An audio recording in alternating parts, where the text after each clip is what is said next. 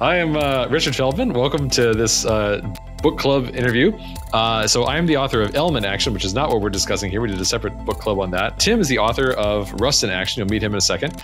And uh, this is a totally different book and a much different audience. I kind of accidentally got asked to write a book. So that's that's kind of the pitch for Rust in Action. If you are from sort of a dynamic programming background, or even, say, a Java, but you've never really encountered these terms systems programming or any of the concepts around that. That's really what Rust in Action is trying to provide a little bit of a glimpse in to not so much teaching you systems programming, it's primarily there to teach you Rust, but it uses concepts from sort of that subfield to really enable you to feel welcome inside the Rust community. I intentionally, I'm like one of the last people to learn Rust without the book, the official The programming language, the free one online.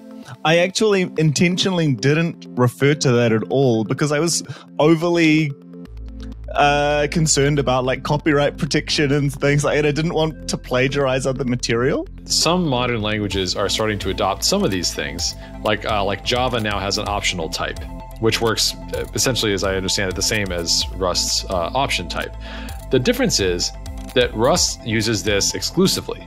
It's not like Rust has option and they also have null and they also have undefined and they also have an, another way. It's like no, there's just there's just the one. There's option. Rust always wants to offer you the choice to kind of boil away the abstraction and go right to the depth of what's actually happening. You have this cool example in here. Um, there's actually, I mean, there's awesome examples throughout the book, but um, like here you have the, the title of this section is All of Networking in Seven Paragraphs.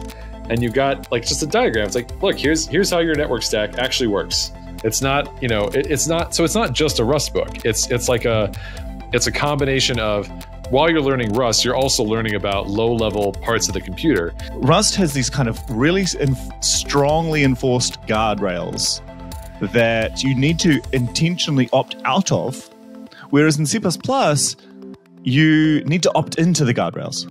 The reason why you're a C programmer and you might look to, say, a Rust is that C is notoriously difficult to get right. If I were coming from like a Go background or a C background where errors are returned as values, I might think, uh oh, uh oh, this is not this is not going to be good because uh, what if I forget to handle it, right? Uh, but yeah, but the way that Rust does it, it's it's not like that at all. I mean, you, you cannot forget to handle it. The compiler will be like, you forgot to handle this error here. you need to do something about that.